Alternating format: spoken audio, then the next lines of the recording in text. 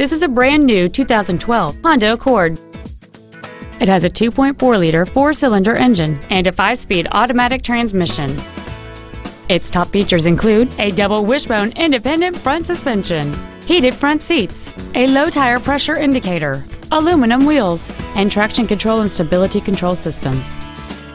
The following features are also included air conditioning, cruise control, full power accessories, a CD player, an electronic throttle, a passenger side vanity mirror, a security system, multi-reflector halogen headlights, a rear window defroster, and the leather seats provide great support and create an overall luxurious feel. Stop by today and test drive this automobile for yourself.